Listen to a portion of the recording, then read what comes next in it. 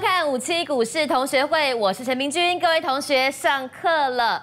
端午节后，台北股市有没有好戏可以看呢？台股今天由台积电领军，哇，电子股主终于呢是回神重掌了多头的兵符，而且很重要的是，这个电子股的成交比重回升到了五成之上了。那台北股市呢，今天站回一万七千一百点，也挺进五日线。端午之后，这个变盘有没有机会变盘向上呢？马上欢迎今天来同学会的三位来宾，第一位欢迎分析师王建文，王博好。明君好，同学平安，大家好。第二位欢迎分析师邓尚伟老师好。明君午安，同学们大家午安。第三位欢迎分析师王世俊世俊好。明君午安，各位同学午安。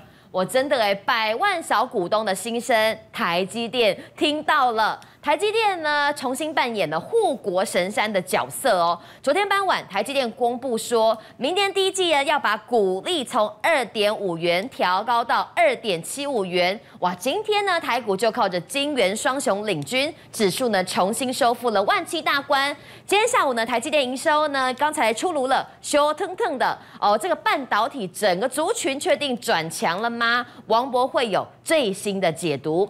但尚伟老师昨天呢有提醒同学说，被外资降平的联电千万不要乱砍乱卖。哎，今天联电走势终止连四黑，上涨了，尤其搭配联发科重回千元，联家军的 IC 设计股立刻就喷出反应，就连洪家军的 IC 设计股也开始表态了。集团作战股的轮流发动，哎，潜力股还有谁呢？邓老师要帮大家一一的来检视。传产股呢，今天呢这个心情呢有一点点紧张。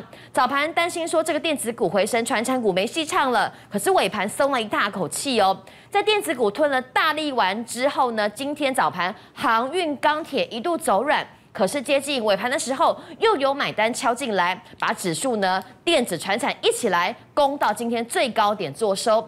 船产股的大多头到底有没有走完呢？世俊今天会有最及时的解析。广告回来锁定武器股市同学会。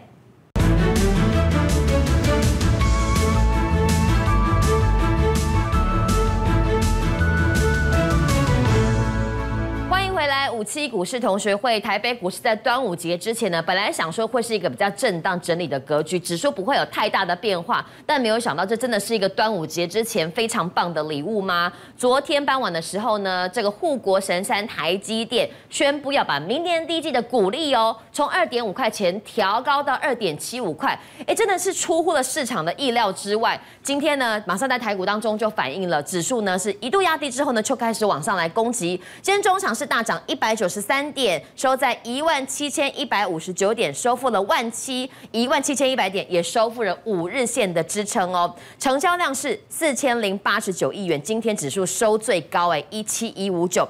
那今天呢，这个正贡献点数呢，不用说，都是我们的这个半导体的大哥护国神山群啦。台积电、联发科、红海，连大力光都跳出来了，连跳出来这个表现了。可是负贡献点数呢，有一点点担心啦。哦，我觉得这个船产股、这个航运股涨多拉回没有关系。可是哇，这个友达跟群创哦，公布五月营收这么好。又被花旗给降平，今天股价真的跌得蛮惨的。但我想先从大盘请教王博，王博在这个呃端午节之前呐，我们的电子股大哥回来了，这个成交比重一口气拉到了五成之上。那端午节的变盘行情有没有机会向上呢？好的，平常心呐啊，真的是平常心。其实台积电跟联发科就是我们这两个礼拜讲的嘛，嗯对啊，我们就提醒同学说半导体，半导体了哈。那如果我记得没有错的啦哈，昨天台湾股票市场这样涨哦，很多同学在我的那个 line 里面就是说，端午要变盘的啦，往博向下变盘。因为昨天表现不好，对。对，然后今天今天上来之后，他哎会不会往上变？马上向上啊！向上。我在想说，怎么昨天向下变盘，今天变向上变盘哦？所以我我还是觉得啦，就像我昨天在这个同学会里面提醒同学说，你变盘的过程当中，我们要知道，我们要知道说。到底它的一个结构是什么样？哦，那当然，我最近有有一些资料在那里面嘛。我说同学自己看看了之后有问题就问。我最近在追踪那个所谓法人的筹码，包含像外资跟投信，投信连续买超的哦，哈，总共最近来讲哈，我统计昨天四十六档股票连续买超，四十二档是电子，哦，只有四档是船厂。然后外资呢，外资在昨天哦，那个连续买超的有五十二档。三十一档是电子，二十一档是船产。嗯，所以我个人认为，我个人认为说，就这样的一个筹码的角度来看，它是一个风向。对其实的确外资有回来回补电子，但是投信反而在电子里面它是更加的积极啊。不过我觉得啦，我觉得你也不用看衰船产啊，因为我觉得像昨天就很多同学在问说啊，这个那个航运股落那个那个落海了吗？不然就是什么？不然就是呃钢铁股股是不是跳那个跳到水里浮不起来了？我我我我觉得不用这样看，我觉得你还是要把产业的结构搞清楚之后，你才知道未来的发展。嗯不过我觉得刚刚明君提到一个重点，就是二四零九的有达。对我们面板股来先帮大家解一下这个。这个真的很昨讨厌是群创公布了五月份的营收表现是相当的不错。我跟你讲，这种这种状况哦，台湾股票市场常常发是生。跌够了吧？我我我觉得啦，我觉得说，其实它这里出一个底之后，其实本来在这一根中长红，其实本来是要往上，对但是你可以发觉说，它一直上不去，是因为什么？当冲比例太高，对，而很多人都且有好多的利空的杂音。对，然后突然之间啊，突然之间花旗花旗给降平。有啊，你有干嘛外资做奇怪吗？大摩降那个联勇四一四，哦，然后花旗啦，然后昨天还有一个什么联博啦，什么联电，什么曲终人散，对，害我昨天还回去把那个张宇的曲终人散，我再听一次，再听一次对。还好没有真的曲终人散。所以其实有时候了哈，当然面板的一个下半年的杂音真的比较多，所以我个人认为说，它在这边横横盘筑底的过程当中，它比较有可能是做反弹。因为它的一个营收获利嘛，哈，对有可能比较做反弹，但是你还是用反弹市值，就是说，其实它上面这边都是压力。对我之前都跟同学讲过，嗯这边都是压力嘛。那你说有没有机会这样上去？那我也跟同学提醒过，因为我目前看产业的讯息，就是半导体看起来比较整齐，对而且它的一个成长趋势比较清楚。好，所以我我个人认为啊，我个人认为说，其实可能股票要调整一下。如果你手中有面板，对哦，你你你也不用压力太大，嗯哦，因为我觉得杀下来之后，那个筹码融资清一清之后，它会做反弹，那你反弹上来可能就要调整。好，王博提醒大家哦，这个面板股的营收表现非常好，但可惜的是啦，最近外资比较不青睐面板，加上外资有降频的动作，所以呢，面板股如果短线哈、跌升反弹之后，可能站在减码的一方是比较有利，把钱拿去做半导体，还是可以讨回公道的嘛。那讲到半导体的部分呢，就不得不来提一下这个非常大的新闻。我们刚才有已经帮大家大家整理出来台积电最新的五月份营收，那这个稍后再谈。现在讲这个股利的部分。之前台积电跌是因为说它的这个现金值利率低于美国十年期的公债值利率，所以呢股价就被一路的往下打。然后大家也市场传出来说，哎，台积电有没有考虑赚那么多钱来多发一点现金股利？真的听到了，这个董事长呢跟这个执行长都听到了哦。他们昨天的董事会呢颁网决议说呢，现金股利从明年第一季开始呢，要从二点五块钱第一季的部分啦，调高到二点七五块钱。虽然说呢没有讲说会不会季季调整，可是应该会有这样的一个迹象，所以呢有机会啦，明年的这个全年股利达到十一块钱哦，从十块钱变成十一块钱。那这个是营收的部分呢，刚才也出炉了哈，台积电的五月份营收一千一百二十三点六亿元，月增百分之零点九，年增百分之十九点八。我记得四月份的营收我有帮大家追踪，当时是月减，就股价就有点受到震荡。这次是月增也年增，一到五月营收呢是五千八百六十点八亿元，年增百分之十七点一。帮大家补充一下，台积电在这个第二季的法收会上面说了，第二季的预估的季营收呢可能是三千六百亿台币左右，以现在台币的这个汇率来换算。那现在呢四五月份呢都是大概一千一百二十几到一千两百。亿元之间，六月份呢，如果说再往上跳升的话，有机会是达标的。我想先问一下王博，第一个是发股利对股价的呃提振程度怎么样？那五月份营收你怎么关注？好的，其其实我先讲哦，这个营收哦略低于市场的预期哦。有低于对对，因为我们本来我们在看说，因为台积电出来释放的讯息，大家都预估是一千两百因为亿。三千六百亿除以三嘛，对对，一千两百亿啦，所以这个略低于预期。那六月份能不能补上来，大家就要观嗯察。其实以目前看来，不管是四月、五月、五月嘛，其实第二季是呈现淡季不淡，对只是我们可能对它的一个预期比较高但是还是略低于预期哦。那我觉得比较让我 surprise，我常讲说股票要动就是要 surprise 嘛，就是说它突然出来讲这个要增加，大家原本都差点忘，差点忘记这个议题，你知道吗台？积电到底在冲啥？你知道？但是我跟你讲，零点零点，它本来是二点五到二点七五嘛，增加零点二呃零点二五一咪咪啦，一咪。但是我觉得为什么今天二三三年的台积电会涨？对啊，差一块就变就到六百块。其实算一下，它的殖利率也大概一一点八了，也不高哦了，一点八也不高。但是你你你知道为什么？因为其实，在释放这个讯息的过程当中，它释出一个内容，对他认为他这几年投入的一个所谓相关的资本支出，能够帮他创造更多的获利，可以赚更多的钱，可以赚更多的钱，那是先进之城有优势。嗯，所以我觉得啦，我觉得是因为他释出这样的讯息之后，让所谓的市场让法人开始怎么样？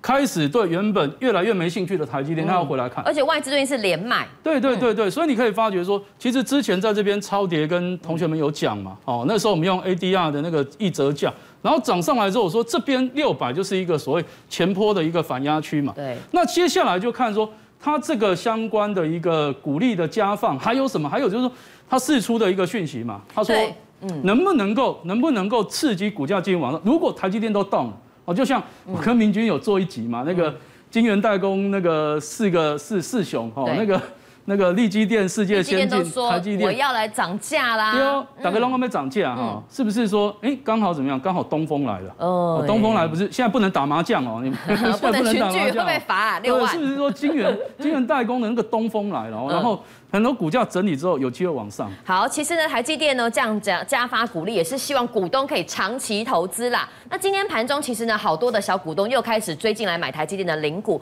那这个半导体的东风来了吗？我们看一下、四大晶圆厂呢，其实目前的状况真的非常非常的忙碌，今年产能都被抢光光了，包含了八寸、十二寸的价格跟这个数量呢都会往上，满载没有见到松动，所以呢，力基电、世界跟联电第二季营收有机会拼创高。另外呢，苹果的新品啊、宅经济等等，驱动 IC、电源管理 IC 的订单都到明年中，所以这些四大晶圆厂的后续走势呢，大家可以留意。王博呢也会继续帮大家来追踪吼。那我们讲到今天盘面上，我刚刚台积电聊过了嘛，联电哎股价呢也没有因为外资降频呢，股价呢就受到拖累。今天呢是终止了连四黑。联发科要来好好讲一下了，今天上了一千块钱，我记得王博你昨天有讲到这个对关键的价位，对了，没错啦。其实我有提到说，其实如果台那个台湾的那个电子股要动，它一定是一档一档来啦。就是说，当然我们最主要的还是要看这些大哥大头们的一个表现嘛。，嗯，对，如果他们不表现的话，其实大家对这个大盘的那个信心是比较弱。所以我有提到说，哎，不管是联电也好，哈，因为有很多同学就是说啊，联电怎么办？我套在这里，耶，联电怎么办？我套在这里，然后哎，这里的时候，哎，又不大敢买，哦，因为什么？因为那个时候大家都在讲利空嘛，很很恐怖啊。弹上来之后，很期待说它能不能一步就上上去。那我在同学会里面讲说，其实这里你就观察它的均线的结构嘛。那如果你想操作的话，你就慢慢的接嘛。对因为目前看来，整个半导体的一个晶圆代工这一部分，它是往上的。对，往上如果说有那个所谓的那个联博嘛，我觉得这给它砍到四十块，对啊，博博，它那个联博听起来对不对？虽然我是王博，但是 但是发音呢，真的不大习惯了。嗯那我我我个人认为啦，我个人认为说，我们就看嘛，哦，是不是曲终人散嘛？是他曲终人散，还是联电曲终人散？哦也可以嘛。不过人家规模也是蛮大的。对那我觉得啊，我觉得我们就在观察。好二四五四的联发科啦，好二四五四的联发科，因为昨天才提到，我说真的，连 IC 设计要表态，我觉得联发科它的一个表它太的重要了，太重要。小兵一直动，他都不动。洞见观瞻了哈，可能有听到我们的呼唤，然后股价开始 往上哈。那盘中有到一千块。对，当然因为也有些同学喜欢做高价股，所以你可以发觉说，哎，这个联发科上来之后，喜欢做高价股的同学，哎，可能在操作的过程又有一些标的。喜欢做高价股的同学还做什么？六四八八的环球金。对，哎，环球金我就想问了，王博，你说哈，其实最近哈电子股的火种就是 IC 设计跟细晶圆当先锋嘛。那环球金、中美金跟合金这几天表态之后，今天股价有一点点开高走低，可是轮到的是我们昨天不小心点到了 PA 三一零五的稳茂，今天盘中一度涨停板呢。对对那这个中小型股哦，贵买指数当中，细金元跟 PA 都非常的重要，他们的资金轮动，你觉得这样的状况健不健康？我我我觉得目前嗯看来是有越烧越旺。那因为我记得我明明明君那时候问我一句话说，这是不是火种？我说当然是火种啊！你细金元，细金元是不是整个半导体里面最重要的一个材料？是啊。嗯那你手机里面 PA 是不是很重要的一个零组件？是啊。CCL 是不是很关键的材料？是啊。对那如果说它是一个所谓一个带一个一个带一个的话，你看嘛，环球金带上来了嘛，这是细晶圆。那三一零五的文茂，这也是半导体的领域啊。然后你看，我们才在讲。结果今天就直接冲上去，而且还带量哈。那我觉得说这种大家都可以当指标。八零八六的红杰科，我们帮同学追也踪过啊。是被文茂带上去了。嗯对，，其实其实它之前已经慢慢上来，慢慢上来之后，今天也慢慢上好，只是说你去注意这种次族群的一个轮动，我觉得啦，我觉得其实船产整理一下还有机会，但是嗯这些次族群的个股、电子类股里面，它会很活泼的表现。老师，那今天怎么看哦？太阳能类股全数的发动，这是政策概念股，外加夏天开始变热的这个题材吗，？我我我我觉得能源本来就是，不管是美国也好，台湾也好，其实都在推了啊，而且对特别是所谓的碳中和啦哦，那个节能减碳。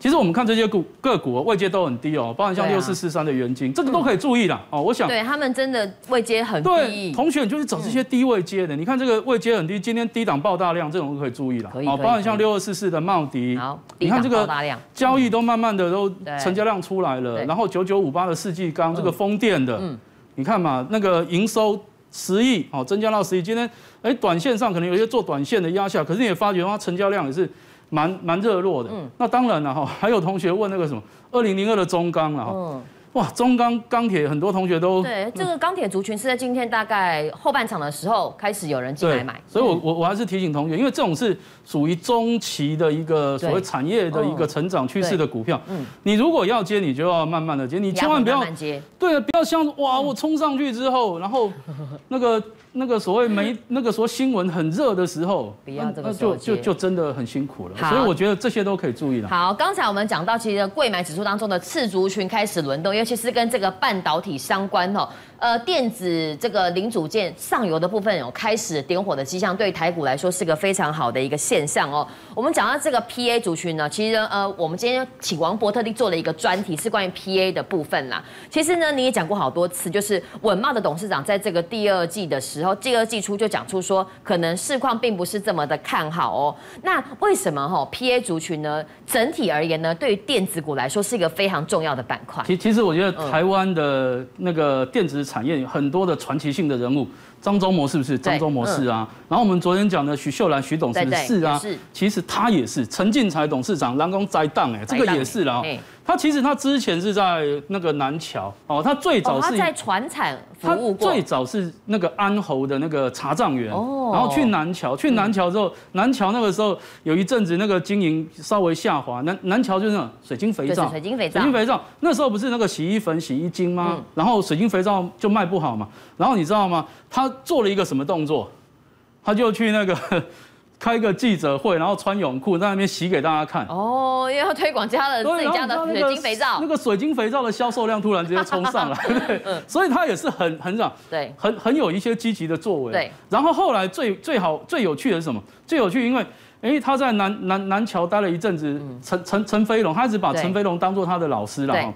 其实后来怎么？后来出现一个状况对，两千零三年的时候，两千零三年发生什么事？台湾股票市场博达事件。叶淑菲，对，那个时候其实生化甲几乎都要倒了，嗯。嗯，都发生很大的问题。对，然后稳茂的董事长哦，那个刚好是他的一个什么，他的朋友对。谢世川，嗯。然后就说，哎，我你来，我你来搞阮倒沙钢铁嗯，你你你有那个摘掉，你搞阮倒沙钢，所以他就说他是救火队啊。哦，就当那时候去救火，对，然后茂救把文茂救起来之后，他两千零八年还去救宣德，嗯，然后二零一九年的时候联茂强强联手，对。那今年什么动作？今年在五月的时候，就是要攻这个生化家，对，好，来我对们来看一下哦。好。五月份在哪里？五月份大概是在这附近。对，好，那如果你看到有一些大佬有一些特别的动作的时候，嗯。嗯，你都要注意。对，徐秀兰徐总董事长一出手就一出手就会有事情发生，然后你看这个也是大概在附近，结果今天股价又上来，嗯，所以我觉得呢，我觉得说，不管是稳茂也好，全新也好，宏杰科也好好，嗯。现在主攻的是生化钾，对，那它为什么？第三代半导体，对，这是第二代半导体部分。嗯。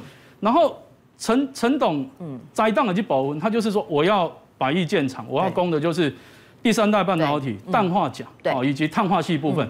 那我个人认为啦，因为其实第三季其实基本上是电子类股传统的旺季啦，啊如果他又超前部署，其实这个股价在低档，大家是可以注意。好，没错，王博今天呢，哎，针对这个 PA 族群呢，最近股价非常明显的点火转强的这一块呢，大家可以从基本面呢，跟后续的这个筹码的状况呢，关注呃 PA 族群整体的走势。如果说你对于这个操作呢，半导体族群任何意见的话，对传产族群的大多头行情呢，有疑问的话，欢迎参考画面上的大头娃娃，跟王博加个赖聊聊天，王博会你给你比较详尽的解说了。好，现在节目会我们聊聊是这个集团做账行情哦。其实呢，我们讲了好几个礼。拜喽。六月底呢，这个集团作战行情，尤其是电子股的部分呢，大家一定要多所琢磨跟留意。好，今天联发科盘中攻上了一千块钱之后，各大集团当中的 IC 设计股一定有戏唱。广告回来锁定五七股市同学会。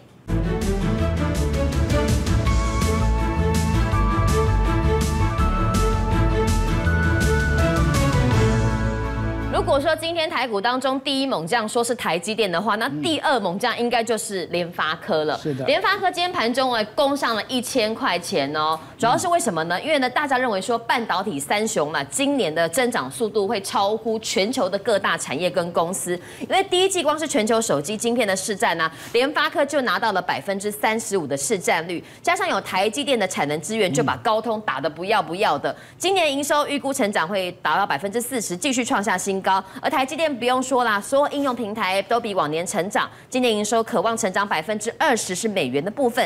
日月光也不错，打线封装需求很旺，加上台湾最近有封测厂的染疫事件，日月光已经很满了，接单都没有办法转单接到这边来了。今年预估再成长百分之二十。那老师，我想先问一下哈，是哎，今天联发科的走势您怎么样来关注？尤其昨天我们还讲到喽，因为其实联发科跟联价联电都是这个联价军的嘛，对不对？昨天我们讲到说呢，联电被外资调降平等，啊，目标价看到四十块钱。老对师有特别提醒大家说，千万不要在这个时候乱卖对乱砍。今天联电就回神了，怎么是会有这样的解读呢？好，我想呢，在昨天我一直提到说，那个联博看坏，对对不对？看坏说，哎，可能看四十块。我说这里有个缺口吧，四十九跟四九九。我说这个缺口没有封闭，不要被它吓到。对。好，那今天就弹上来了。所以基本上从联家军里面，它的单月营收也是创历史新高啊。好，那我们再来看一下，在整个联家军里面，第一档创新高的是谁？是三零三七的星星我们看一下三零三七星星。好，今天它也是小涨哦，你看它的碰一下五日线，它还是维持很强的哦。那第二档是谁？就是三零一四的联阳。对，联阳昨天涨三零一四联阳，哎昨天涨停嘛，今天创新高啊，小跌一块，对。也是维持非常的强势而且量价配合的很好哦好。嗯大涨的时候哎，对对，上攻就有量，拉回就有量缩。嗯。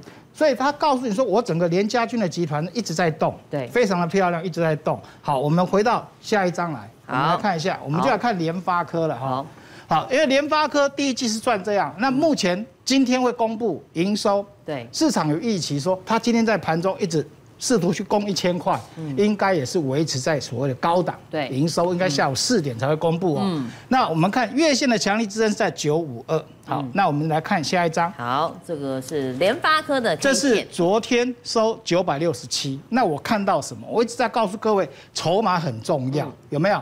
你看到、这一波，它从一一八五跌到八百二十一，是跌三十点七一趴，结果融资是减了三十一点三六啊。你说，哎，融资减幅是比它个股的跌幅还要多对，筹码有沉淀。好，重点在这里啊，它从八二一弹上来到这个地方，这边就曾经攻到一千元嘛，对对不对？但是呢，就这边横盘了八天左右。这一段它涨了二十二趴，可是你看到这里呢，融资有增加吗？没有，没有，这就是非常安定的股票。嗯，这个地方融资只增加十趴左右。嗯，但是大盘它个股已经涨上来二十二趴了。嗯，所以它一直维持在这个线上，有没有？对那只要只要今天一点火就上去了，然后昨天看到什么？法人开始买，是这里交叉了，K D 指标黄金交叉，刚好交叉。对就很巧，哦今天就动了。对，好，今天它马上就动给你看了，所以我们看到今天联发科，你看就更明显了，而且亮出来了。嗯，哦，所以如果说今天的四五点公布的营收是如预期是不错的，我觉得明天应该就有机会一千块站稳了。嗯，今天收在九九八，就差两块。嗯嗯，好，我们再看下一档，，下一档，更好玩的昨天我们在讲这一档的时候，我说市场不会有人介绍，为什么？因为它是这里磨。对，对不对？投资人会注意当天的涨停板，当天创新高的股票，像这种偷偷摸摸要涨的前一天你还看不出来。嗯，那我昨天怎么告诉各位？我说，从连家军的新兴创了新高，加加上接下来是昨天的联阳也冲涨停。对我说搞不好这个差不到一根停板，搞不好莫名其妙，嘣，明天就涨停了。对，结果今天真的涨停对，。它昨天是收在一百块钱，我还记得。结果今天蹦涨停就刚好它公布。五月份营收是五点五六亿，年增百分之十六点零九，也不算是非常出色，跟其他的电子股来说。但是因为它还有涨价题材，外加老师您说的它的可是重点，在哪里？对你说它营收公布五点五六亿，它不是今天才公布呢，嗯，它是今天涨停板的，对。创新高，它是在六月八号以前就公布。对，我说这个厉厉害的地方在这里，融资减了六十一趴，嗯，大盘跌了二十五点四六趴对，个股跌二十五点六三，嗯。嗯，可是融资减了六十一趴，我说这个趴在那边不会有人注意啊，嗯，可是你看到这什么？法人一直吃货，这个是厉害的地方，对，就是说，当你发觉到这种股票的时候对，它常常会给你一个惊喜 surprise，你发觉它不会动啊，这段时间哪会动？嗯。嗯，嘣，它一根涨停就给你了。好，我们来看一下它今天现好。形，你会觉得哇天哪，是不是你在这里慢慢买的人都赚钱？因为法人就是在慢慢买，对。慢慢买，然后就嘣就创新高今天呃早盘时候传出说，它跟是。新塘有 MCU 的涨价的题材啦是，二三继续继续涨。那我们对。来看一下四九一九的新塘好。啊，看一下。嗯好，MCU 整个涨价题材，你看新塘是早在五天前对就来到九十块，嗯。然后就往下了哦，对，然后又弹上来，对，好，又弹上来，嗯。嗯，所以我们可以看到说这一块里面，为什么昨天我特别提这个盛群，对，那今天涨停板，我相信很漂亮，对。大家都来得及布局了嗯。哦。那重点就是筹码，我一直在讲筹码，尤其在前几天，明君也在问我，也帮同学问什么面板。我怎么讲？我说友达群创彩金就是嗯融资一直在嗯增，所以就是你看法人又不买，连四黑了，对。法人又不买，对。所以有时候不要陷入基本面的迷失。嗯。什么叫基本面迷失？就是说它个股题材不错，本益比很低，嗯。可是如果筹码很乱，法人不爱，嗯。它会先跌，你要避开先跌嘛，对。对吧？可能未来半个月哦。未来半个月到一个月之后落底了，那个时候你来买就会买到刚好是一个起涨点，嗯。所以盛群今天已经创新高了，基本面也不错。那好，我们来看，除了联家军里面，对，这个是联家军集团的做账标的，对。轮流点火咯，轮流点火。感觉今天洪家军也看到一点也也开点影子始来了，也开始来了，嗯嗯，你像洪家军、天域，我想大家最注注重的就是天域嘛，为什么？因为它是一个指标，对，它之前最早创新高，嗯。然后跟敦泰的比价，嗯。那昨天的敦泰创新高，嗯。然后今天拉回，对，它也稍微拉回，嗯。可是为什么我觉得它还是值得利用拉回来布局哦？我们来看一下天宇，我最早告诉各位的时候是在五月十九号，嗯。当时它刚上来，我说这里交叉了，有没有？嗯，然后这里开始要收敛了，对。也就还没涨之前，所以你就发觉，哎，它就这样涨了一段。好，我们再看下一张，好，它就这样涨了一段，又回来，回来的时候你会发觉到月线是上扬的，嗯，对，月线是所以它有没有哦机会是开始走这一段呢？再去挑战这个新高？如果各位去想，过了明天有三天连假，嗯到下个礼拜上班已经六月中了，那离集团做账也好，投信季底做账也好，就剩半个月。对，再扣掉周休二日，其实就只剩下十十个交易日。嗯，那有没有机会再去创新高？那我们要看它筹码的变化，就看投信的对动作，因为第一个基本面没有问题，大家都知道前四月它就赚七点六六啦。那我们来看哦，这一段过程当中，它的融资一直维持在低档，也就是说我在这边涨上来的这个过程当中，我的融资没有增加。嗯，就像你刚才看到什么盛群一样啊，它反弹上来这边碎步碎步的时候，它融资也没有增加。对结果嘣，今天就涨停了。那我发觉天域就有这种复制的模式。我在涨的过程当中，我融资并没有增加，可是你有没有发觉法人都是买的比较多，有，慢慢吃，慢慢吃，慢慢吃。我之前告诉各位，他在等什么？等他再度交叉。嗯，机会来了快要交叉了，啊！对，快要交叉了。所以明后天他只要冲过三二五，然后到月底，也就是说第二季结束的季底，我们讲季底，我觉得它搞不好真的有机会，洪家军他有机会往上攻一波给各位看哦，那值得期待。好，再来。这一档也是很强，台阳，老师也是之前介绍过，六月一号我在介绍它的时候，我怎么介绍？我说五月份法人卖了一千一百零二张，对，结果六月一号一天就买了一千六百一十六张，就是买的比他过去一个月卖的还多，为什么？哎，后面一定有题材嘛，对不对？那我说这档股票，你如果看基本面，它还没有还没有赚钱，还没有赚钱哦。只是就是有那个太空的题材，对卫星。对但是呢，我说最漂亮在这里啊，五月份有没有？我在六月一号讲说，五月份法它的整个融资减掉了七千多张，也就是说这个，这个是没有的，对，融对资减，嗯，这个字是多好打的减了七千多张，那代表什么？筹码安定，都很安定嗯哦。然后这个地方早就交叉往上了。好，各位当时看一下，它股价多少？三十五块、三十八块，好，然后现在到昨天为止呢要四十六块，嗯，对不对？对啊，那我们看今天多少了？今天冲到五十块哇，老师，那如果它后续真的创高的话，可以只差四毛哦，对，差四毛哦。你看这个量是很漂亮的在加温哦，嗯，所以你说洪家军的集团做账会过高的，台阳，甚至未来是天域，对高价就是看天域，嗯低价就看台阳。好，那我们再往下看，还有哦，还有跟网通有关系的，大。家来不及的没关系，还有，你看三零六的建汉，这也是大家买得起的股票吧？可是你看它都有一个特色，融资这样减了四十九趴。那你看这个地方它就很漂亮，在做一个形态给你看。嗯，然后各位，它未来就有机会往上攻啊！你说已经错过了，已经创新高了，你不用追。但是成功的方法可以复制给你看，你一定要找这种筹码安定，让你看到这什么，谁在买，法人，对吧？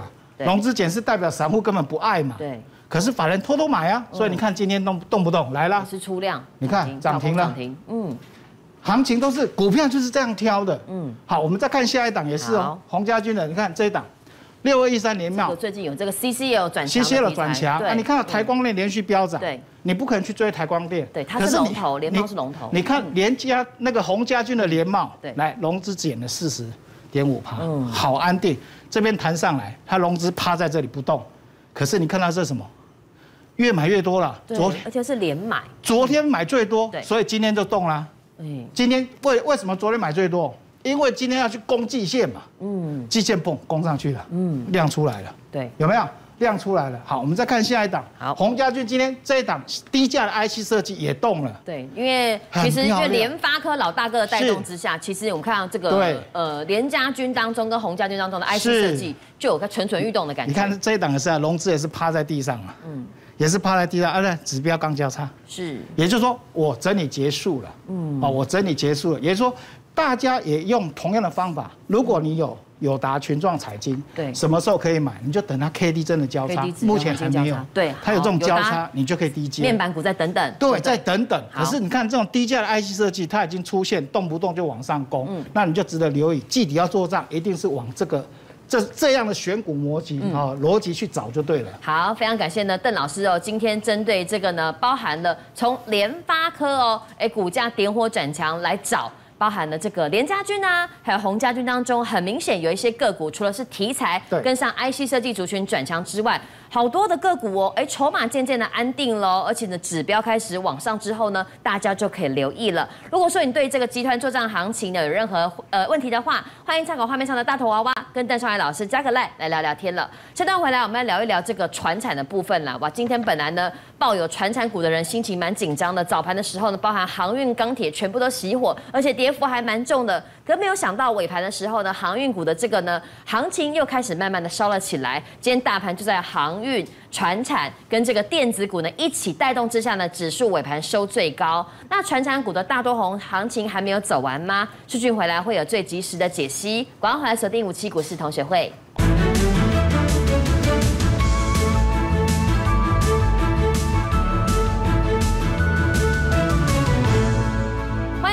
五期股市同学会啊！这个阶段要来问一下世俊呢，因为好多的投资人呢，投资传产股的都很想要知道世俊的看法怎么样。那今天我们先从航运股来解哦，航运股的人气到底还在不在呢？我们先来看一下哦，今天最新的一个报告出来是本土法人看多长荣，说它的第三季有有机会赚十块钱一个股本，目标价拉高到了两百二十块。为什么呢？因为呢，长荣的五月份营收获利创下了新高，EPS 单月二点九一元。而且现在呢，要新船非常多，这个视剧有讲嘛，长荣是船最多的一个船队，碳中和降低船的周转率，所以呢，货柜双雄这个礼拜呢，呃，其实呢，尽管股价是稍微的震荡哦，可是呢，并没有呢，呃，呈现一个败相。但大家担心的是啦，为什么哈、本土法人喊，可是呢，哎。我们外资的小摩跟高盛是同步的站在调节的一方，包含了长荣跟阳明。那现在的这基本面来讲怎么样呢？其实还是不错的，包含了货柜轮的订单呢，现在都是爆量，造船厂呢也是喊涨价了。目前前五个月订单就逼近两年的加总两倍。那这个瑞银呢也是认为说了，其实尽管运价中期会逐步的小幅回落，可是呢，呃，不会回到五到十年前这个低迷的状况。我想先问一下世俊，今天呢包含了货柜三雄的股价跟散装都同步的回落了，可是到尾盘的时候，他们的涨跌幅都有收敛，这个是不是一个比较好的迹象？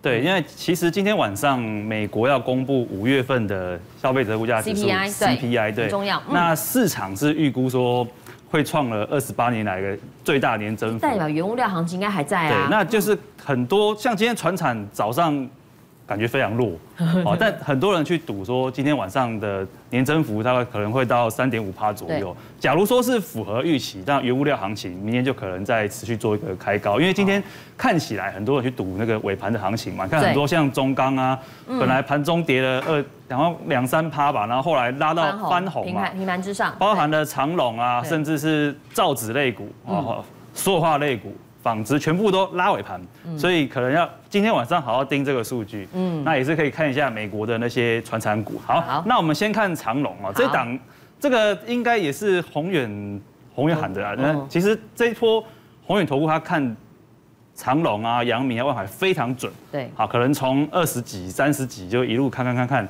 然后一直调高目标到现在。好，那我们先看一下二六零三的长隆。嗯，好，二六零三，啊，对，那其实基本面是没有任何的问题，也不用再去多述。对，好，那其实我们昨天有跟大家讲说，昨天公布了它的五月营收是创历史新高嘛，获利二点九一，那也是非常的吓人啊，嗯可能说第二季就可以赚到九块。对，他说第三季赚一股本，代表说他每一个月都要赚三块钱以上。对，因为现在目前的美国线合约还在涨嘛，所以可能说六月营收会可能创高嗯。好，那我昨天是建议大家说可以做一个短线的减码。对，因为像今天一样有还有开高可以做个减码不然的话盘中就往下杀，杀了差不多将近五六个 percent。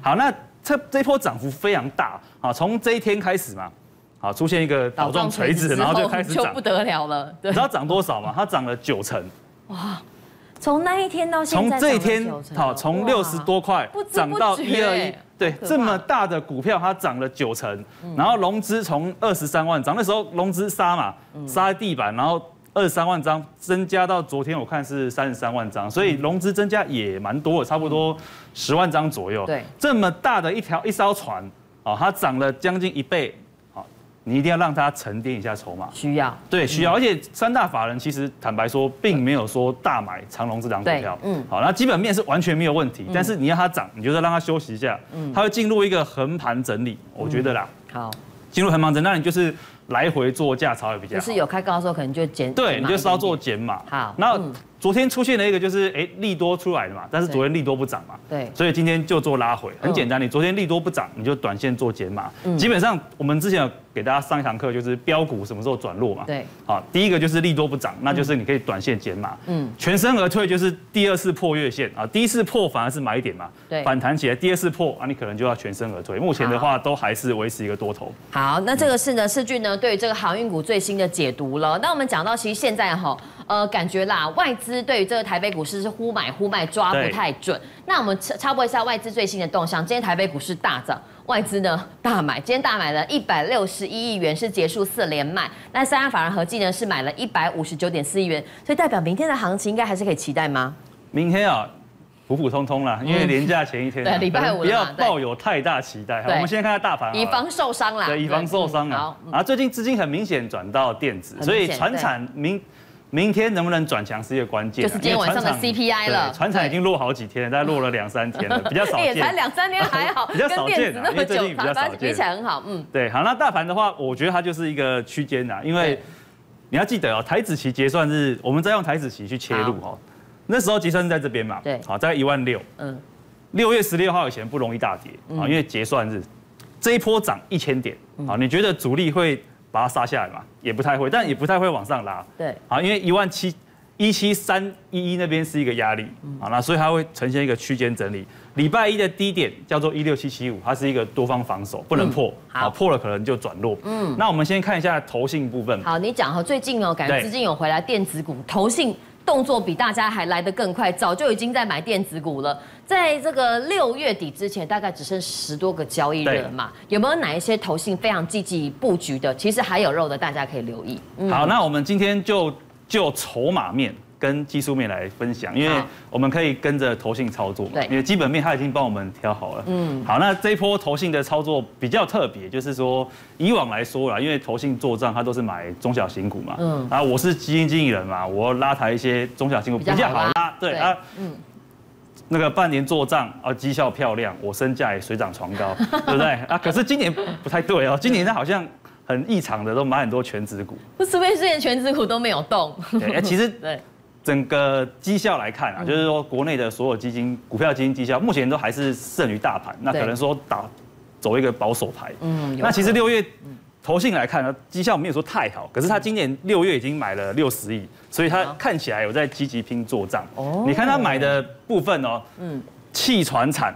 买电子，对，刚刚王博讲，投信买这个一头拉股股票当中，都是在买电子，船产很少，很少。那因为可能之前有被电到，因为之前都买船产嘛，然后后来杀一波之后都砍完了，现在相对来看，因为从四月份来说。电子已经跌非常深了，筹码也很轻，很好拉，所以大部分投信都在买电子。好，你看它买超金额排行就知道，大部分都全指股。金额这是以金额来说，对，买超第一名是台积电啊，第二名星星，然后联电、锦硕、长都是我们有持续关注的。对，然后我们用一个比较傻瓜选股法。好，到底投信的这个选股条件怎么选呢？在这个进入之前，我们现在插播一下。如果说你对这个投信的作战行情非常兴趣的话，欢迎参考画面上是俊的大头娃娃，跟他加个来，他的资料都会放在他的群组里。面好，投信选股的条件到底是哪一些？我要怎么跟投信一样厉害？